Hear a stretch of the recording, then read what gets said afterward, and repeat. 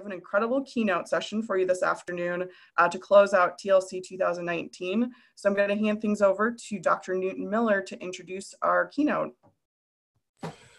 Well, hello everyone, and, and it's an honor to to introduce this this young champion right here. But I have to say this: if you know me from Ashford, you know I'm I'm pretty say what I'm thinking. When I was uh, approached to introduce Dr. J. Luke Wood, um, knowing that his presentation was on microaggressions and, and inequities in color and, and how it affects you know men of color in educational setting, I had to laugh because me introducing Dr. J. Luke Wood could be perceived as a microaggression in itself you know, the black guy introduces the black guy. So let me kind of just wipe that all out for you and let you know that first of all, the people who who approached me, I know them personally, and I'm very positive that wasn't part of the thinking. Our work is similar, uh, Dr. Woods and myself. And secondly, I want to say personally, to me, it's an honor to introduce this young champion.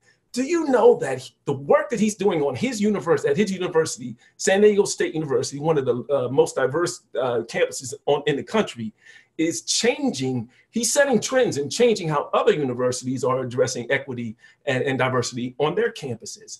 And the work that he's done with the community colleges, uh, um, the, the, Equity Assessment Lab. I sat in several of his, uh, used to have uh, a monthly, I think they were um, um, seminars, and I sat in several of them, bought the books and things, and I used some of those things in the courses and stuff that I designed.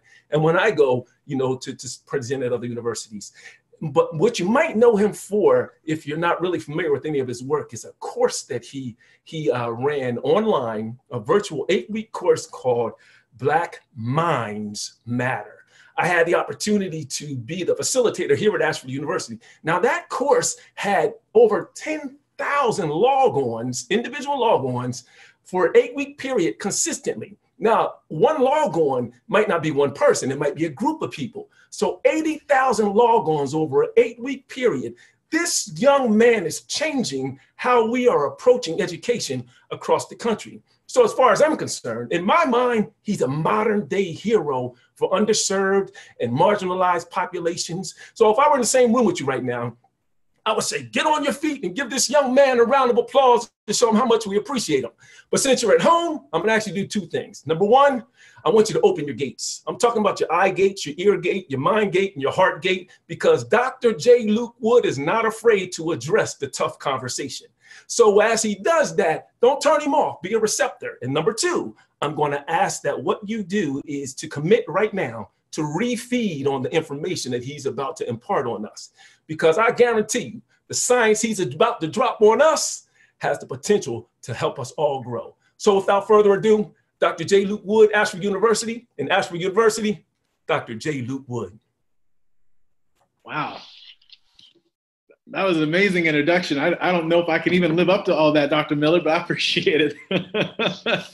Um, it's good to be here. It's good to have the opportunity to address um, a community that's dedicated to uplifting those who oftentimes don't have the same uh, levels of opportunity. I know that the great work that Ashford is doing, I have uh, many close friends and colleagues who, who work for Ashford and, and who, who teach, who serve as administrators. And so um, when I saw this invitation, I was uh, incredibly uh, pleased to be able to participate in the conversation and to be able to offer what I think might be some important insights uh, for those who are oftentimes teaching people who come from historically underrepresented and underserved communities. And uh, so, again, I, I, appreciate the opportunity to be here.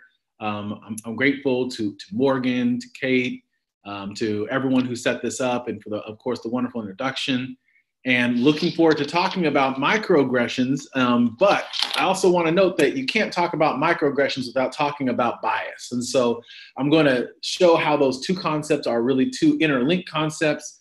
And I'm going to talk about it in the context of men of color, but really this is not a, a solely a men of color conversation or black male conversation or Latino male conversation, but a conversation on, on race and how tacitly we see some people and we see names of individuals and we see uh, exchanges with different people and we might assume things about them that might not always be accurate and might suggest something um, that they um, that they may be lesser than or unworthy or unintelligent or dangerous and so we're going to talk about what that looks like, how it affects education, and what we can do to change it. But before I get going, I just want to let you know that uh, my center had a report that came out two days ago, and the report is called When They Teach Us.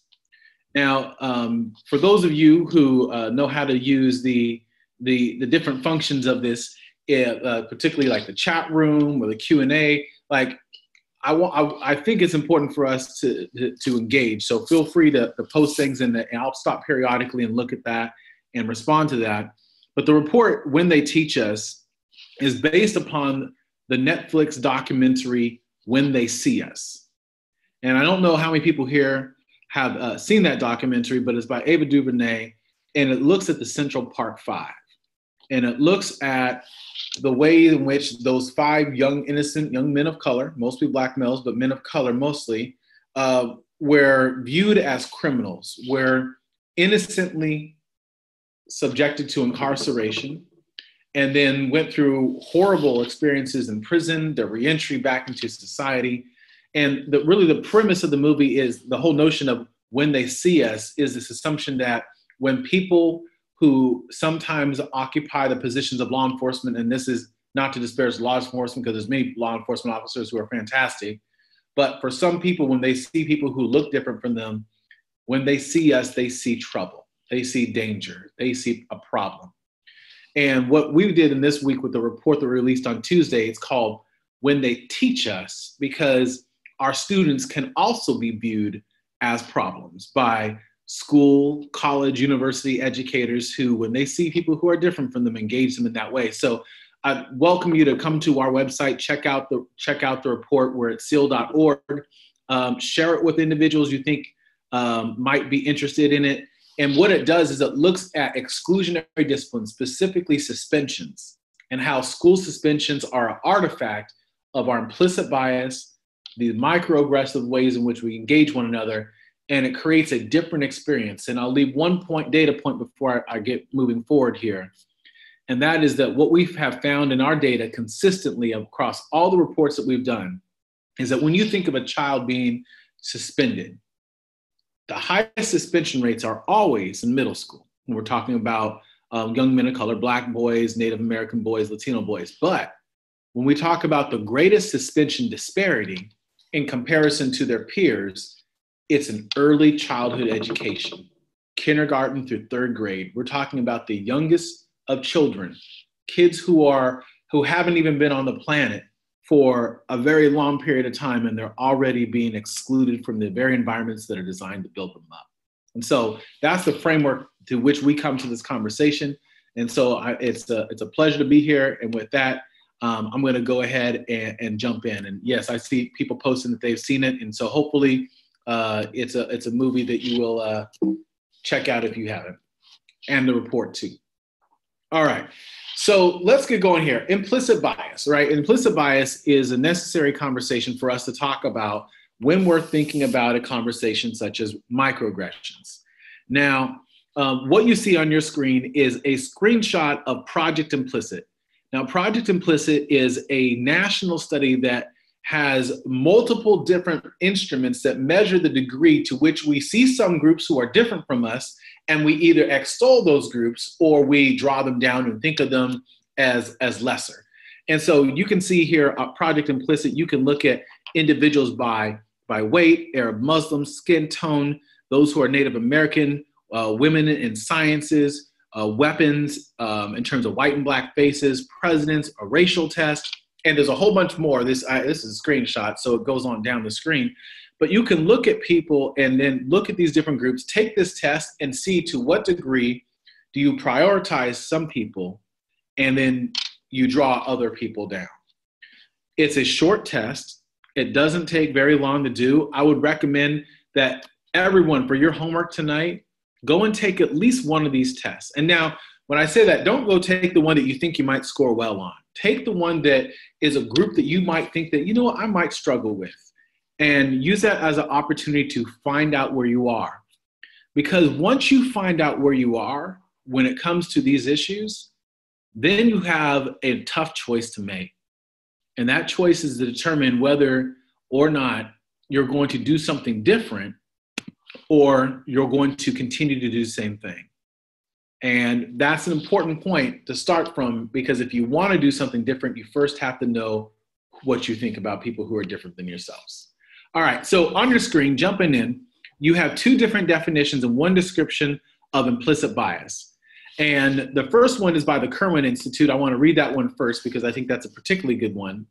And it says that implicit bias is the attitudes or stereotypes that affect our understanding, actions, and decisions in an implicit manner, activated involuntarily without awareness or intentional control. It can be either positive or negative, and it says that everyone is susceptible. It doesn't say that some people are susceptible. It doesn't say that most people are susceptible. It says that everyone is susceptible. So everyone is, susceptible. All of us, myself, everyone on this on this uh, Zoom cast is susceptible to bias. Now, what I want you to do is just take a moment and look at the other description and definition and then what I want you to do is think about what are some keywords or key phrases that jump out to you in your mind when you think about what this means. What is implicit bias? So take a moment, read through those, and think about what are some of those keywords or phrases.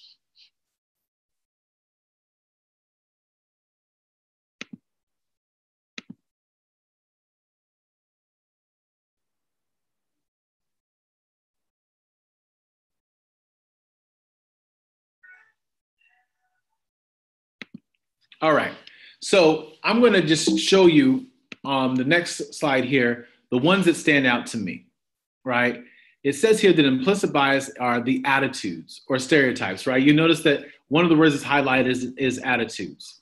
So it's the ways that we think about things, it's the ways that we engage things, it's how our mind processes.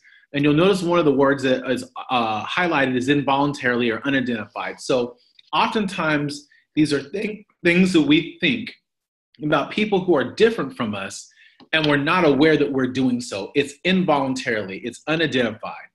And why does it matter? It matters because it mediates attributions of quality, how we think about people who are different from ourselves. And more importantly, it motivates our actions in terms of what we do. And then to know what is being communicated, it's based upon traces of past experiences. Things that we have experienced um, as with family members, with friends, things we've watched on the television, that we've seen on our phones, that we've heard on the radio. All those different mechanisms in which we can receive information informs that those traces of past experience. And if those experiences were informed by bias, which as human beings they definitely have been, then we are communicating that bias towards one another. Now, what we find is that there are certain conditions when we're more likely to convey the biases that we have than others. And some scholars have juxtaposed it on a continuum between what's called system two thinking and system one thinking. Now, in reality, there's no such thing as as either being something one or being something of the other. There is no truly a system one or system two, right? There's really more so gradations across this continuum. But the two ends of this point really help to paint out how we communicate bias towards one another. So, a system two has been shown that when we think about things and engage things in a system two context, we're less likely to convey our bias. Whereas in a system one, we're more likely to do so. So, system two, not as good. System one, better. Okay? Or, I'm sorry, the other way around.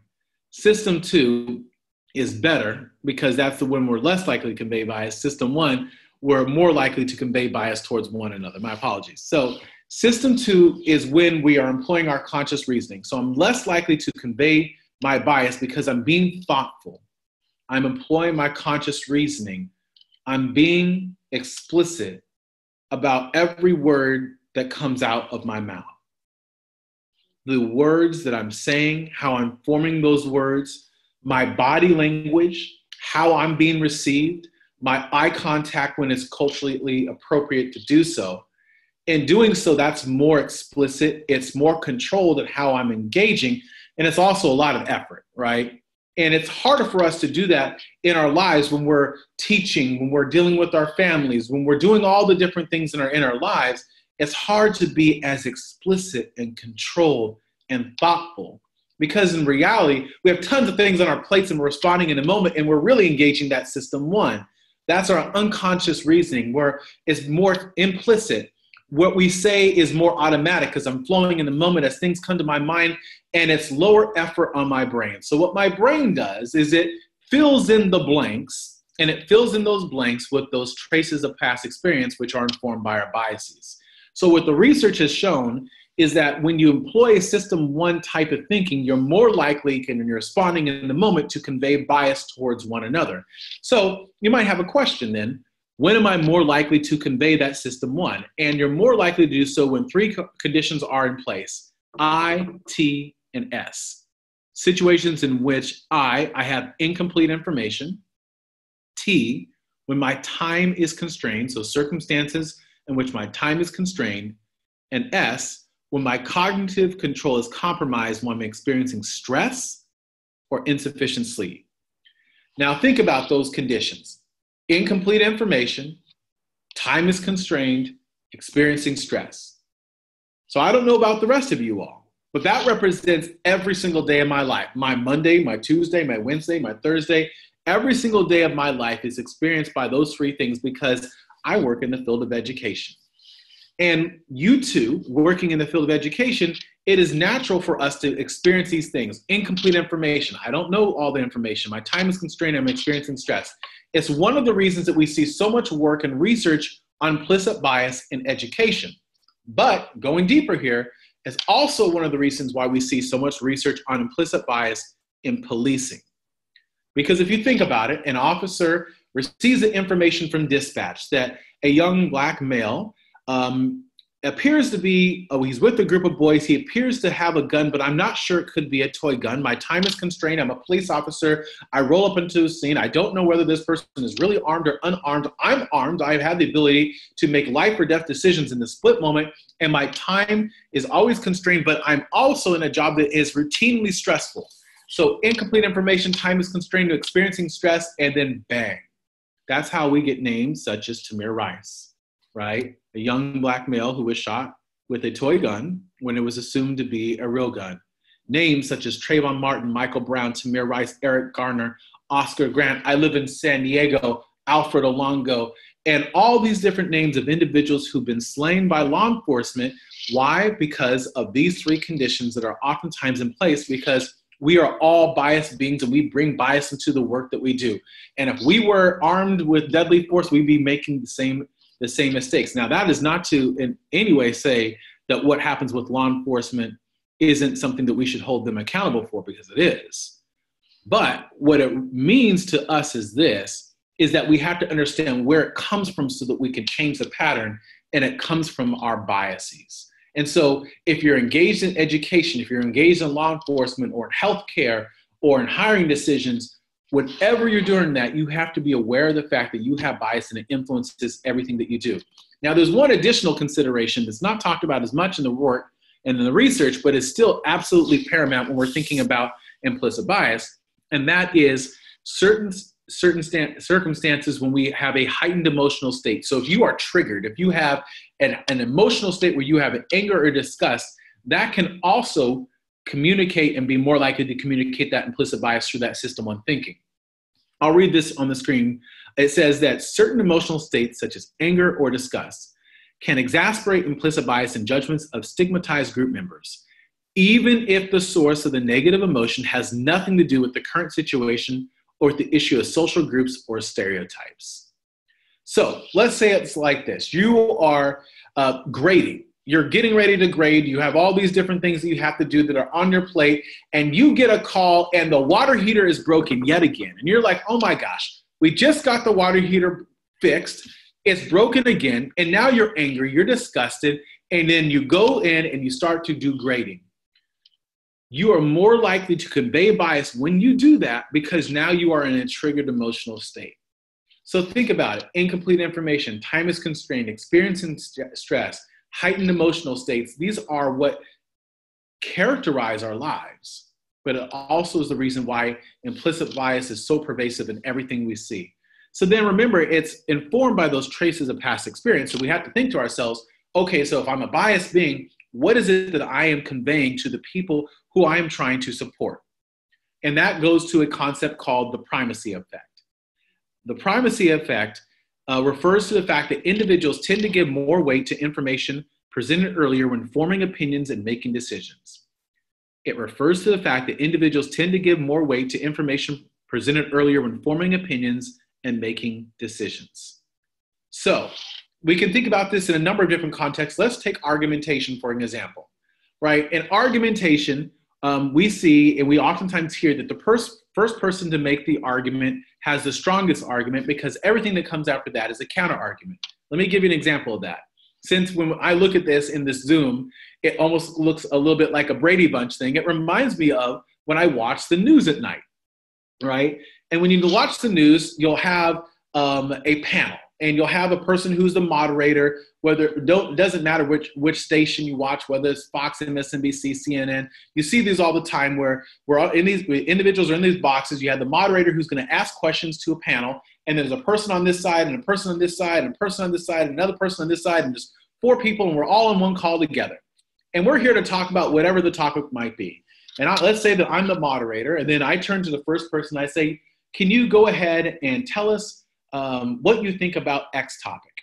And that person um, has thought to themselves that, you know, I want to make a name for myself and for my organization. And they say something that's salacious, not on topic, but something totally out in left field.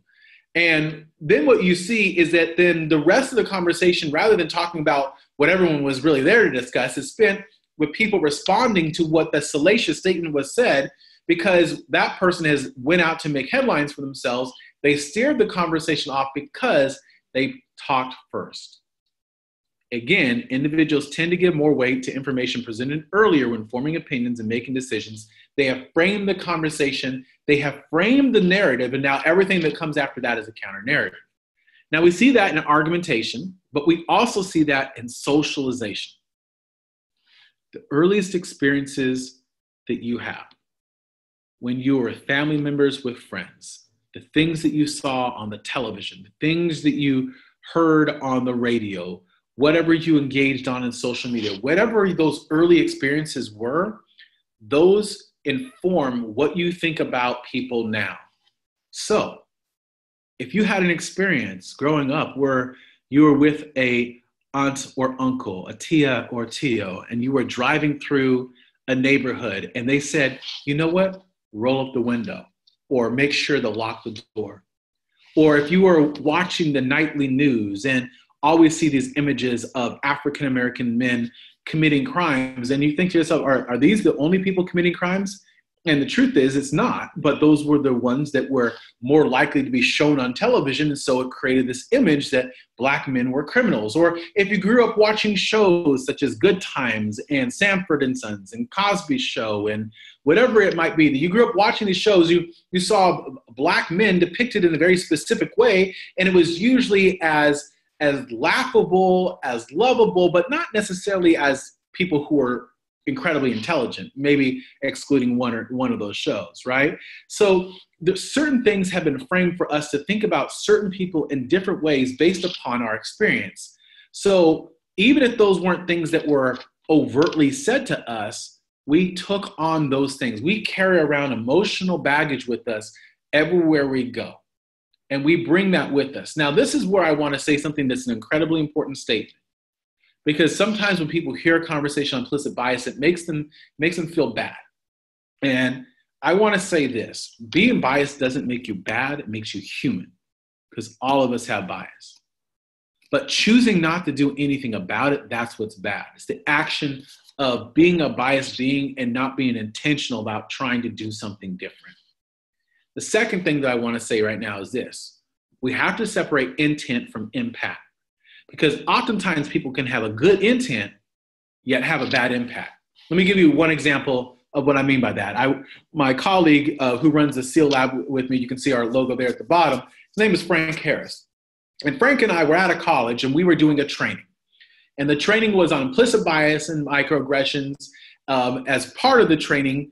Um, but the morning session that we did was on men and masculinities focused on help seeking. So there is a faculty member because a, a community colleges they have what are called flex days so people choose from a menu right so they didn't go to our session on implicit bias they went to a first session on men and masculinities, where we talked about help seeking and noted that sometimes some men are apprehensive about seeking out help.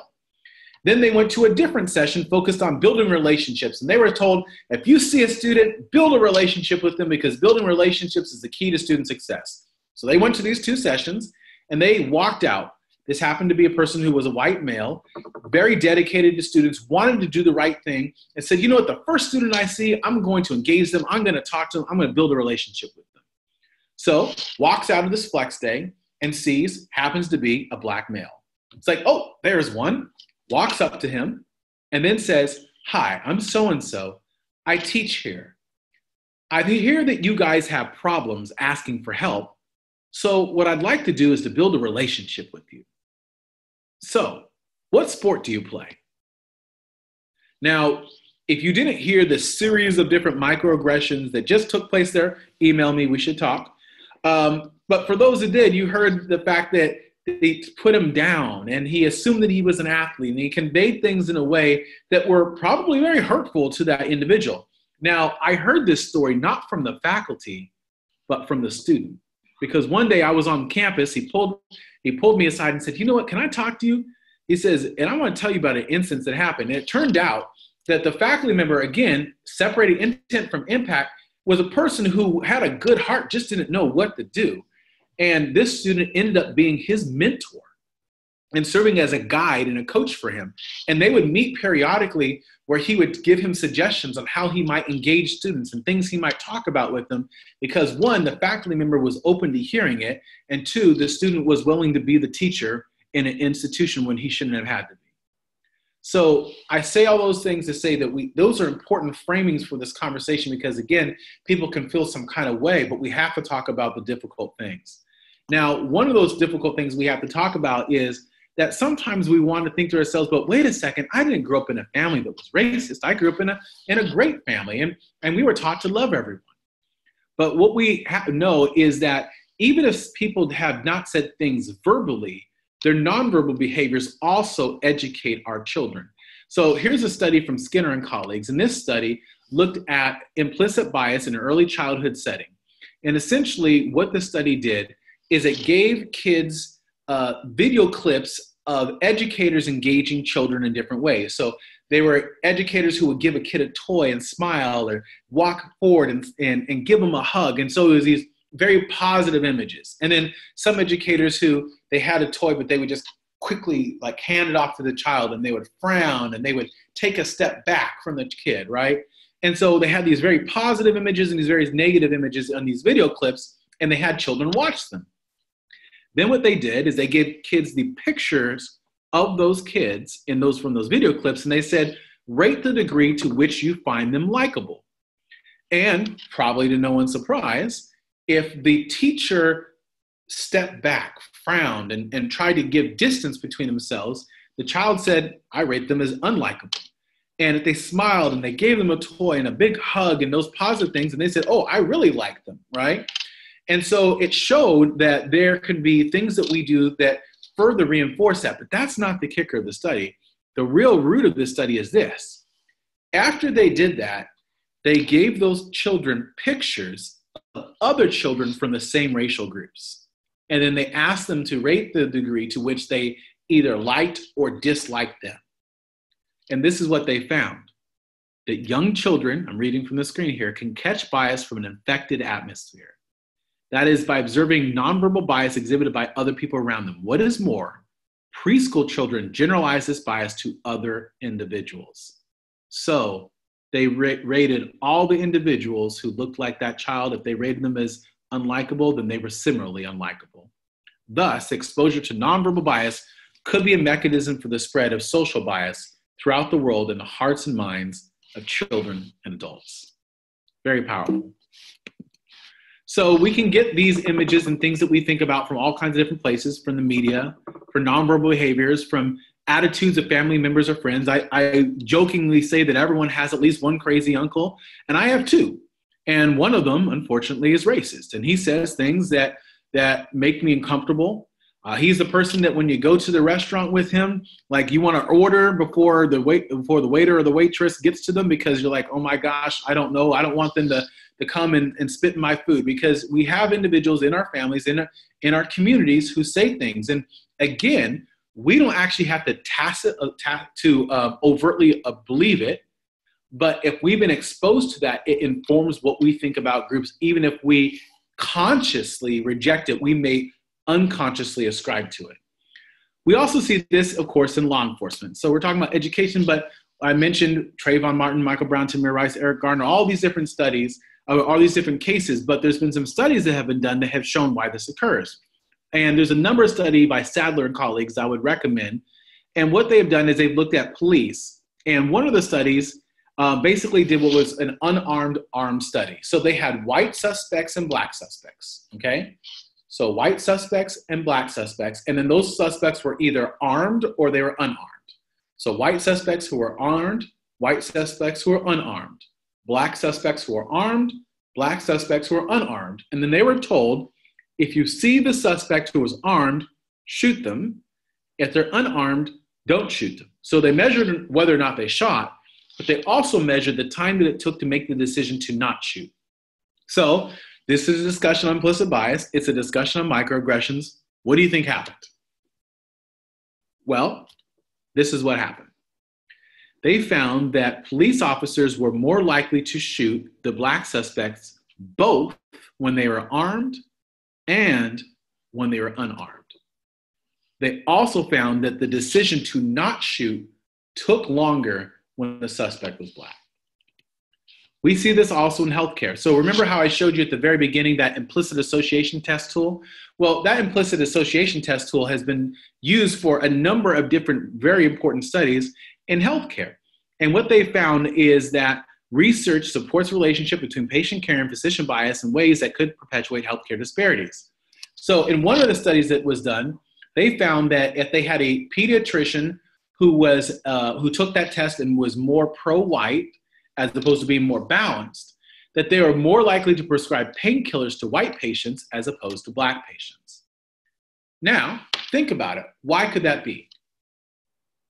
Well, they thought that the black patients were maybe more likely to use the drugs based upon stereotypes or to sell the drugs or they didn't perceive them as being capable of affording them or they didn't have the same level of empathy towards their pain or they perceived that they had a higher pain tolerance and therefore didn't need it there's a lot of different reasons that have been put forth but what they found is that there's different types of treatment and when those different types of treatment affect the service that we provide to the people that we care about, then there's something that we have to think about in terms of what we're doing. We also find this in education.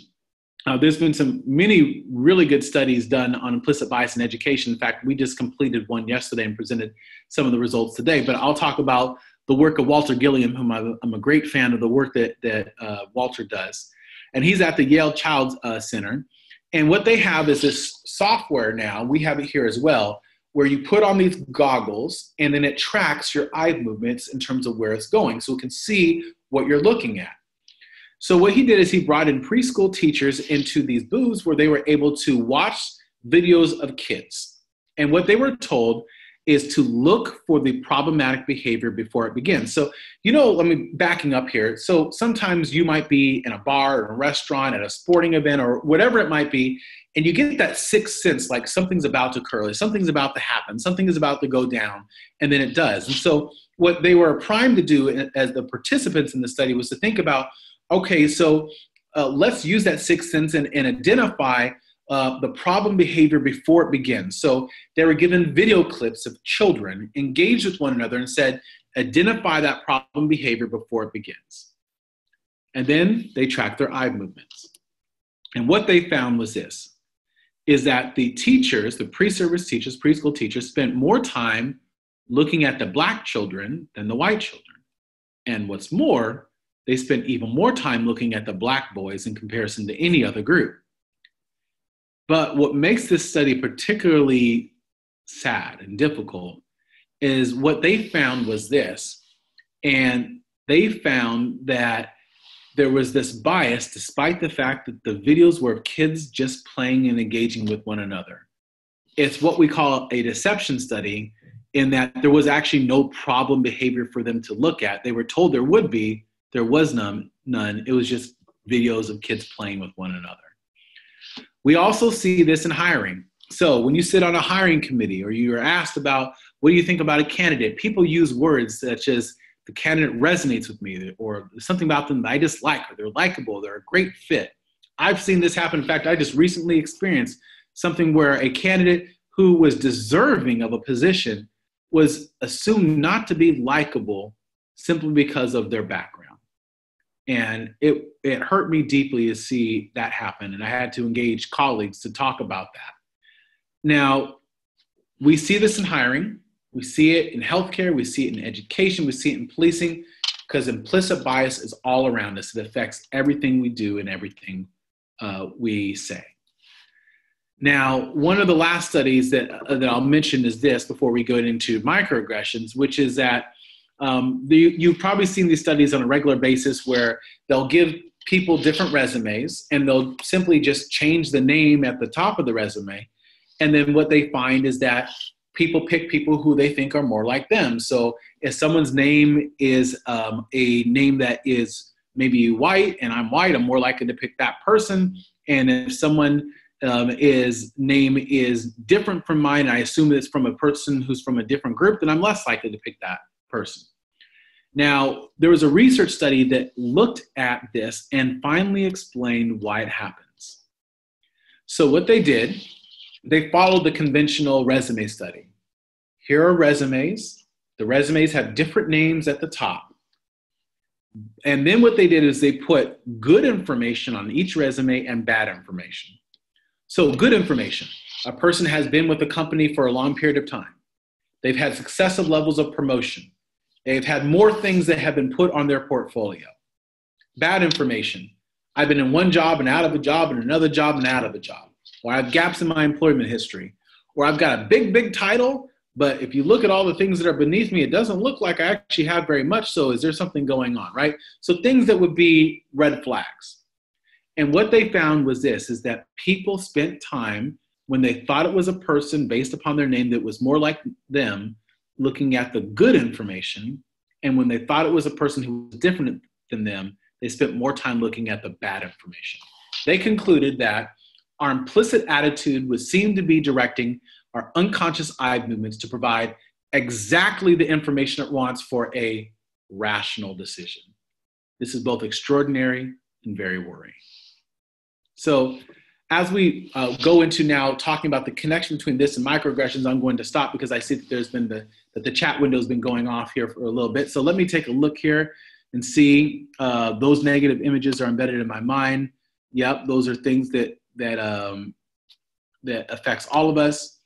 Um, yes, you're right. This is very similar to the work that Clark did with his experience uh, experiments and uh, the Blue Eye study. Yep, ab- absolutely. Those are all different studies that really have gotten at different types of microaggressions and different types of implicit bias.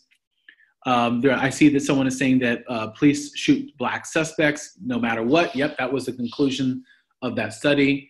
Uh, there's a lot that's going on here. Yes, great conversation. And if there, I've seen any questions, I'll make sure to respond to those. So I want to pause for a second here and just say that if you have questions, please post them. I'll make sure to get to them. And then I'm going to go ahead and continue moving forward. So, microaggressions. So, we have implicit bias, but we don't just sit with that bias, we communicate that bias to people who are different from us. And the ways that we do that one of the ways is through microaggressions.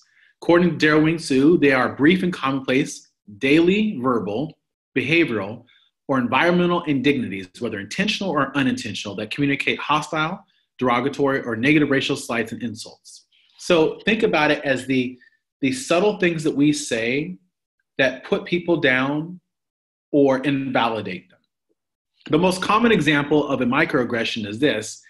Um, when someone sees someone say something and it sounds really well done and that person is a person of color and they say to them wow you're so articulate now they say wow you're so articulate not just to say that but with a sense of surprise because they didn't expect it so this brings us to a core concept of microaggressions which is this is that it's I'm gonna go to, forward to this that it's not what's said, it's what's really said.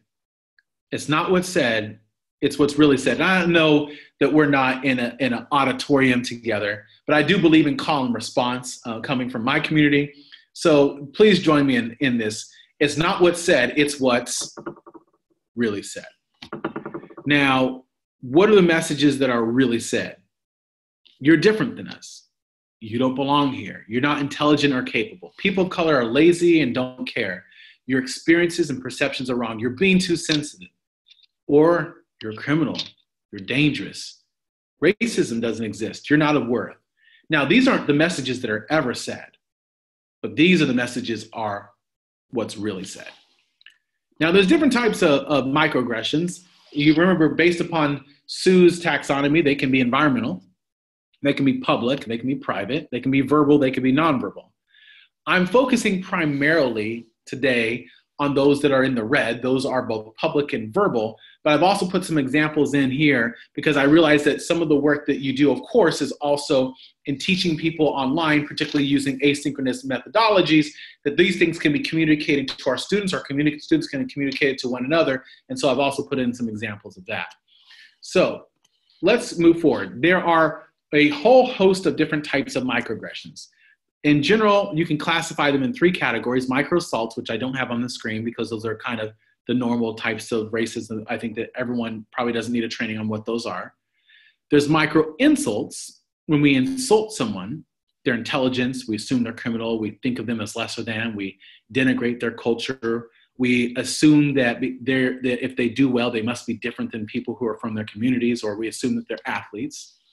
And we can also invalidate people, assume that they're not from here, or that they don't belong here, or that we don't see them, or that only the people who have worked the hardest to succeed, or we deny the individual experiences that they have, or if they're a person of color, we magically assume that they're the principal to fix everything that deals with people of color so that we don't have to. Right? So those are a whole host of different types, and we can't get into all of them, but I want to cover some of them that I think are the most pervasive. So, an ascription of intelligence. This is when we assign a degree of intelligence to a person based upon race, right? So, implicit bias where we assume that they're not as intelligent because we've never seen them in that way and then to therefore communicate to that, that to them unintentionally. So i already gave the example wow luke you're so articulate right? But another example could be you write so well. Uh, i am amazed. It is amazing. It should say that. Um, one of the things that we have found with our work on uh, community colleges uh, in particular is that a faculty member will be in their classroom, again, well intentioned, first day of class, students are walking in, they see a person of color walk in, they say, Oh, this is a calculus class, are you sure you're in the right place? They're in their mind, they're being assistive. They want to make sure that the student finds the right class, but they assume that the student didn't belong there because they are from a certain community. So they actually put them down when they were actually trying to help them.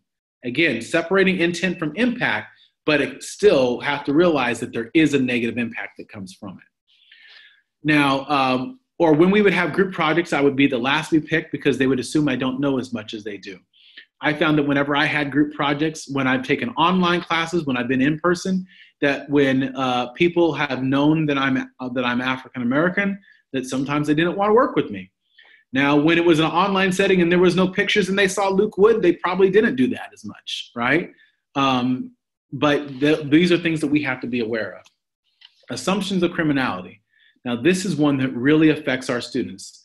This is when we assume that a person of color is dangerous, criminal, or deviant based on their race. And that's why I began with the whole conversation on when they see us and then our new report when they teach us.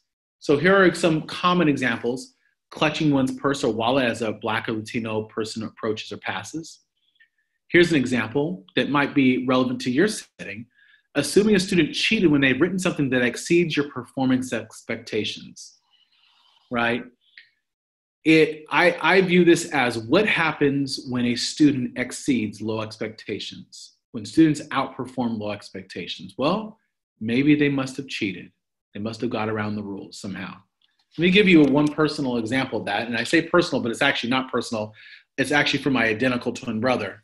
And we went off to college together And when we did, uh, he took a class in Spanish, and he had taken Spanish classes throughout high school, and so he was actually pretty strong. And so he goes into this class, and I remember him calling me beforehand saying, "You know what? I might be able to challenge this class because I think I'm going to be able to do really good." So he goes into the class, feels takes the first few class sessions, feels like he's really comfortable, gets to the midterm. Midterm comes up, and my brother Josh goes, he takes the test and turns it in. Next week, teacher comes back, hands back out the test. Everyone has grades on the top, except his just says, "Come see me in my office." So he's like, "Oh, okay, maybe she's going to tell me that um, I don't need to be in this class, that this is too easy for me, and that I should just challenge the class and move on. And so he was excited. He called me, excited, elated. This was what was going to happen. Except that's not what happened. He got to her office and she said, I don't know exactly how you did this, but we think that you cheated. So we need you to retake the test right now.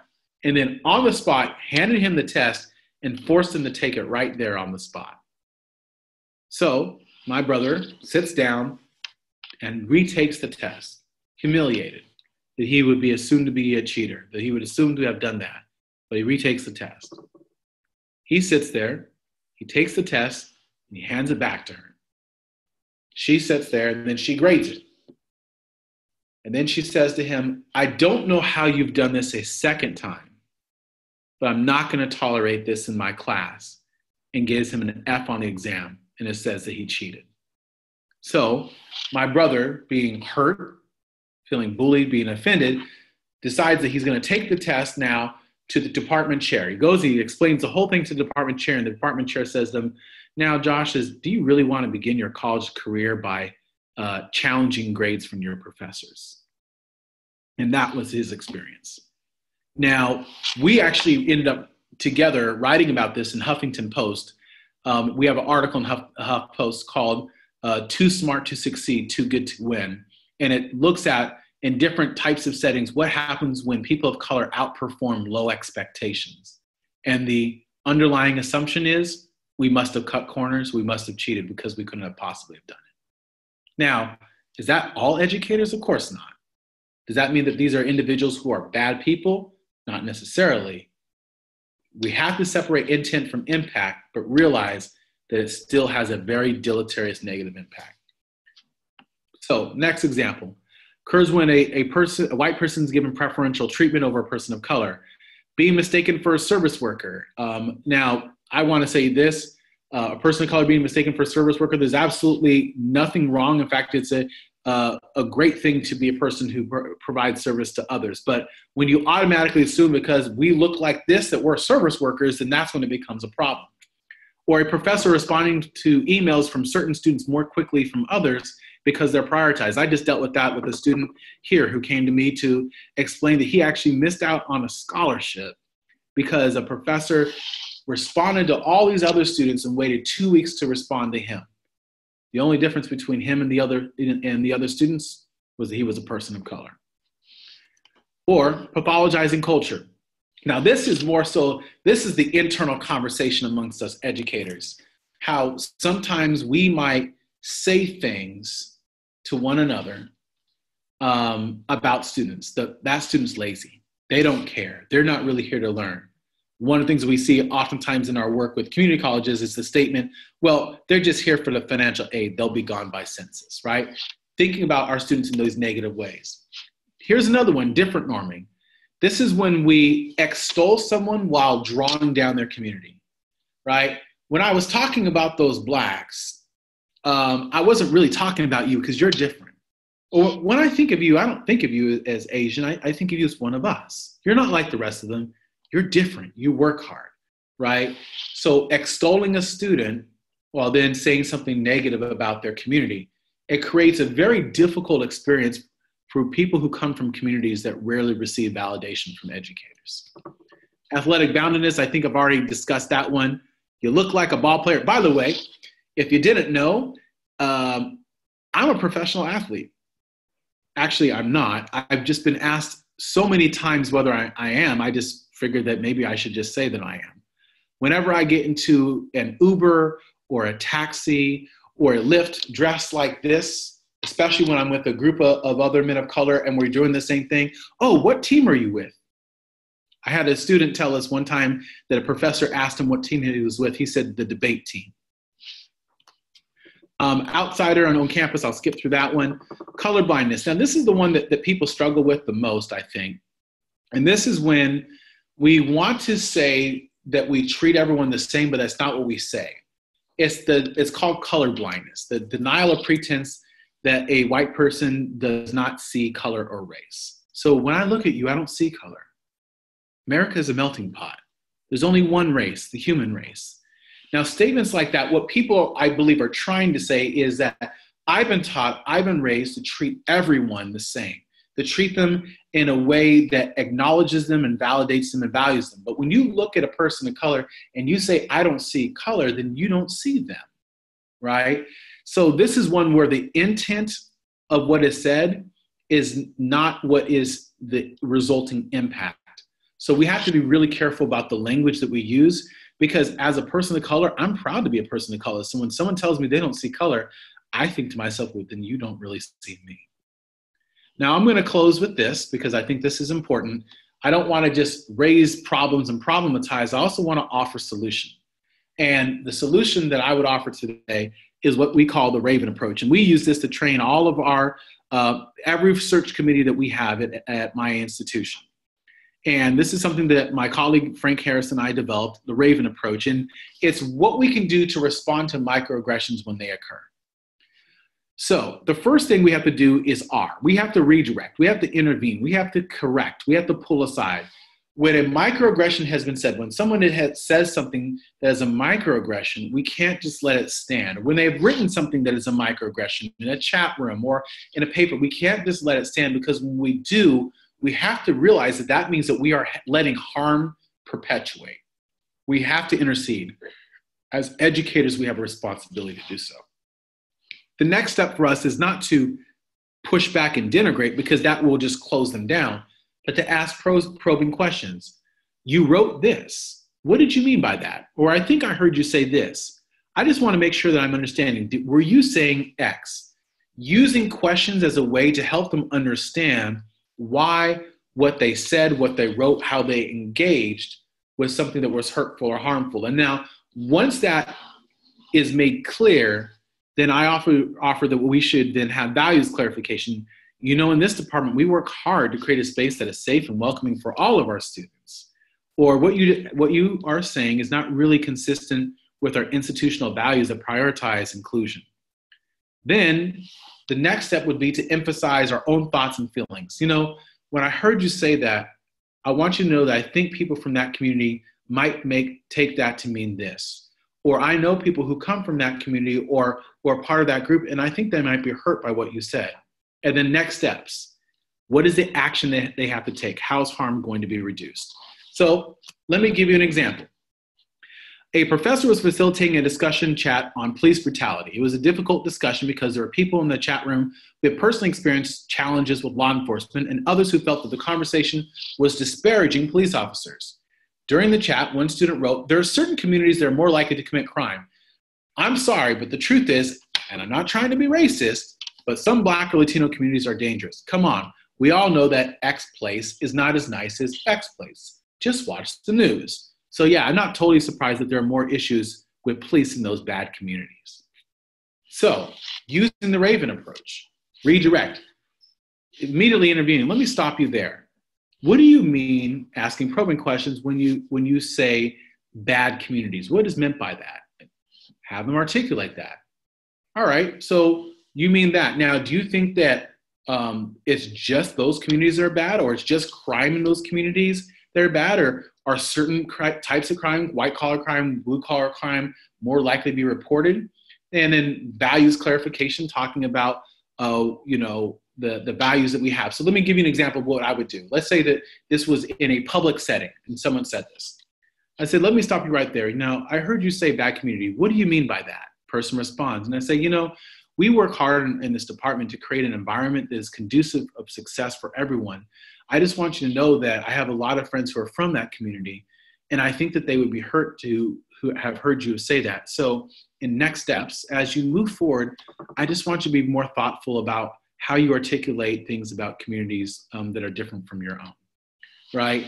Now, it's not that you have to use all these steps all the time. It depends upon the severity, it depends upon what's occurring. But realizing that the number one most important, powerful thing that we have as educators is the power of the question, the power of why.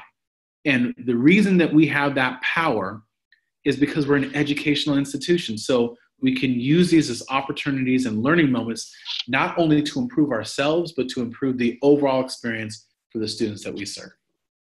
So with that, I just want to close and I'm going to take maybe one or two questions since we're at time, but I really want to just thank you and hopefully some of this has been uh, positive. All right, now I am going in here and looking at some of the things that were said. Uh, com- comments that this is not rare, absolutely. Um, talking about how different instances were handled, absolutely. Um, someone thought I was an employee at a Chinese restaurant, although I was not wearing their uniform. That's an example of, yep, uh, that's definitely a microaggression.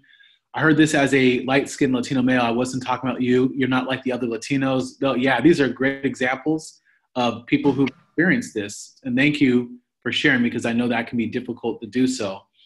Um, I do. Want, It looks like there's no real questions other than comments. There, there, there. Actually, there's a there's a couple. Um, they're further up. I'm not sure if you say that. Um, uh, there's one from uh, Florence. How well is this concept being accepted? I've been teaching race and crime for decades. Some of the earlier concepts associated with microaggression are still not accepted. I'm not sure if you're familiar with the work of Catherine Russell. She wrote, wrote about microaggression in the early 1990s. Yes, in fact, the concept of microaggression, microaggressions goes back to the to the 70s, um, and uh, from the work of, of Pierce, um, and of course, it's been written about much more extensively. Um, absolutely familiar with that author. Um, this is what I would say. I would say that microaggressions um, are still a topic and concept that have been siloed, but the silos are breaking down. Um, we see more and more trainings that are starting to take place with people and more and more of an understanding. I mean, if you look on television, you see shows that regularly talk about microaggressions, and that's not something that, that used to take place. Blackish probably being blackish, grownish, mixedish, all of them being really good examples of that.